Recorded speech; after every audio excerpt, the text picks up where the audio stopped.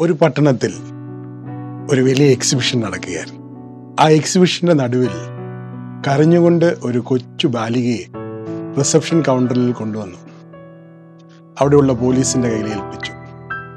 എന്ത് സംഭവിച്ചു എന്ന് ചോദിച്ചാൽ ആ എക്സിബിഷൻ നടന്നുകൊണ്ടിരുന്നപ്പോൾ അമ്മയുടെ കൈപിടിച്ചു വന്നതായുള്ള ഈ ബാലിക അതിന്റെ തിരക്കിനിടയിൽ അമ്മയുടെ കയ്യിൽ നിന്നും വിട്ട് അമ്മയെ കാണാതെ കുഞ്ഞ് വളരെയധികം കരയുവാനിടയായിത്തീർന്നു അപ്പോൾ ഈ കുഞ്ഞിന്റെ കരച്ചിലൊന്ന് മാറ്റുവാൻ ആ പോലീസുകാരൻ വളരെ ആശ്വസിപ്പിച്ചിട്ടു എന്നിട്ടും ഈ കുഞ്ഞിന്റെ കരച്ചിൽ നിർത്തിയില്ല.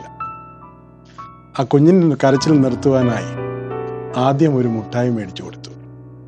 ആ മുട്ടായി തീരുന്നത് വരെ കുഞ്ഞ് കരഞ്ഞില്ല. പക്ഷേ കുറച്ച് കഴിഞ്ഞപ്പോൾ വീണ്ടും അമ്മയെ കാണണം അമ്മയെ കാണണം എന്ന് പറഞ്ഞ് ഈ കുഞ്ഞ് വീണ്ടും കരയുവാൻ തുടങ്ങി. ആ കുഞ്ഞിന്റെ കരച്ചിൽ നിർത്തുവാൻ വീണ്ടും പോലീസുകാരൻ ഒരു ഐസ്ക്രീം മേടിച്ചു കൊടുത്തു. ഐസ്ക്രീമിന്റെതായുള്ള ആ മാധുര്യം തീരുന്നത് വരെ വീണ്ടും ഈ ബാലിക കരഞ്ഞില്ല. കുറച്ചു കഴിഞ്ഞ് വീണ്ടും അമ്മയെ കാണണം എന്നുള്ള കരച്ചിൽ ഈ ബാലിക തുടർന്നുകൊണ്ടിരുന്നു.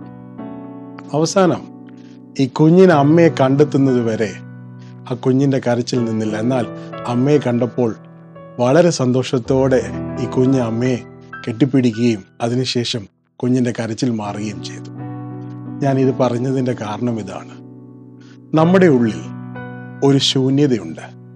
സൃഷ്ടിതാവ് തന്നെ നിർമ്മിച്ചതായുള്ളൊരു ശൂന്യതയാണ് നമ്മുടെ ഉള്ളിൽ.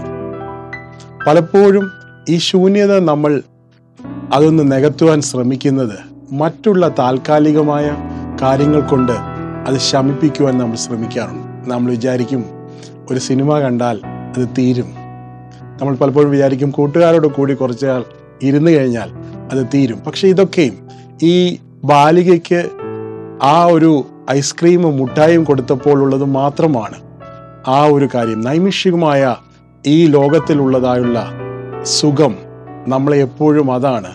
നമ്മുടെ ഉള്ളിൽ നമ്മൾ തന്നെയല്ല നാം സൃഷ്ടിച്ചത്. നമ്മെ ദൈവമാണ് സൃഷ്ടിച്ചത്. ദൈവം നമ്മെ സൃഷ്ടിച്ചപ്പോൾ നമ്മുടെ ഉള്ളിൽ സൃഷ്ടിതാവ് തന്നെ ഉണ്ടാക്കിയിരിക്കുന്ന ഒരു ശൂന്യതയുണ്ട് ഒരു വാക്യുമുണ്ട് അത് ദൈവത്തിന് മാത്രമേ അത് നിറയ്ക്കുവാൻ കഴിയുകയുള്ളൂ. അത് ദൈവത്തെ നാം കണ്ടുമുട്ടുമ്പോൾ ആ ശൂന്യത നിറയുകയും നമ്മൾ എന്നേക്കും തൃപ്തിയുള്ളവരായി മാറുകയും ചെയ്യും. കർത്താവ് പറഞ്ഞു ഞാൻ തരുന്ന വെള്ളം കുടിക്കുന്നവൻ ഒരു നാളും ദാഹിക്കുകയില്ല. കർത്താവ് തരുന്ന വെള്ളം നാം കുടിക്കുമ്പോൾ സൃഷ്ടിതാവിനെ നാം കണ്ടുമുട്ടുമ്പോൾ ദൈവത്തിന് വചനം പറയുന്നു? നാം നമുക്കുള്ളവരല്ല ദൈവം നമ്മെ സൃഷ്ടിച്ചതാണ്.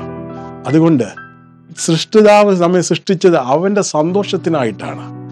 അവൻ അവനെ നാം കണ്ടുമുട്ടുമ്പോൾ നമ്മുടെ ജീവിതത്തിൽ ആ സന്തോഷത്താൽ നാം നിറയുകയും നമുക്ക് പിന്നെ ഏതവസ്ഥയിലും നമ്മുടെ ഉള്ളിൽ നിന്ന് കവിഞ്ഞു വീഴുന്ന ഒരു സന്തോഷം ഉണ്ടാകുകയും ചെയ്യും. ഇന്ന് ആ ശൂന്യതയാൽ നമ്മൾ ഈ ലോകത്തിലുള്ള വളരെ താൽക്കാലികമായ വെള്ളത്തിന്റെ കുമിള പോലെയുള്ള താൽക്കാലിക സുഖങ്ങൾ നമ്മൾ ഓടി അലയുന്നവരാണെങ്കിൽ നമുക്ക് ദൈവത്തിലേക്ക് സൃഷ്ടാവിലേക്ക് മടങ്ങി വരുമ്പോൾ ആ ശൂന്യതയെ നിറച്ച് നമ്മെ നിറവിന്റെ അനുഭവത്തിൽ നടത്തുവാൻ കർത്താവായ യേശു ക്രിസ്തുവിന് കഴിയും.